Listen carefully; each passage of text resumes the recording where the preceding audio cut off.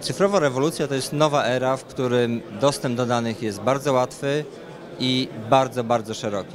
Dane, które zostawiamy w świecie cyfrowym, oczywiście mają wpływ na to, jak jesteśmy profilowani, jakie widzimy oferty na, na, na, naszych laptopach czy, czy tabletach. E, ma też również e, znaczenie z punktu widzenia e, naszej wiarygodności.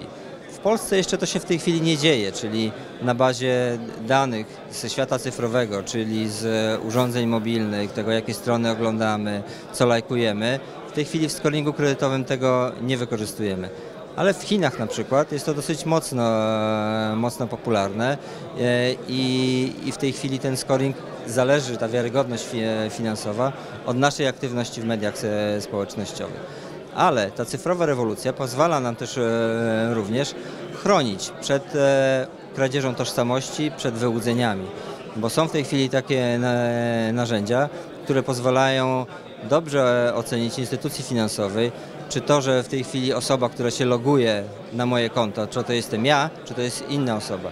Bez narzędzi takich związanych ze światem cyfrowym nie byłoby by to możliwe. Do tego dochodzą kwestie związ związane z platformą antyfraudową WIG. W momencie, kiedy porównujemy dane z wielu różnych e, źródeł, mamy większą szansę ochronić instytucje finansowe przed wyłudzeniami kredytów, ale to też ma znaczenie z punktu widzenia kradzieży tożsamości poszczególnego, poszczególnego obywatela.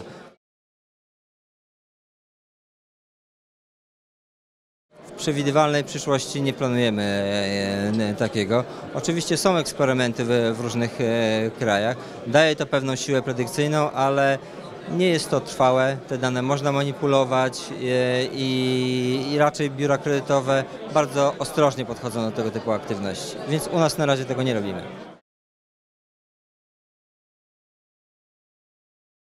Wspólnie z Bilonem e, wprowadzamy blockchain pod strzechy. Pod strzechy, bo to będzie coś, co będzie dostępne zarówno dla instytucji finansowej, instytucji korporacyjnych, ale również dla przeciętnego Kowalskiego. To będzie miejsce, w którym my będziemy mieli, mogli mieć swego rodzaju szufladę z dokumentami, gdzie to nasze dokumenty my również będziemy mogli e, opublikować i my zadecydujemy, kiedy i komu je damy i do jakiego celu będą użyte i jak, e, jak długo. Będzie miejsce, w którym będzie widać, e, kto dotykał też naszych danych, będziemy mogli zobaczyć dane z różnych, z różnych instytucji.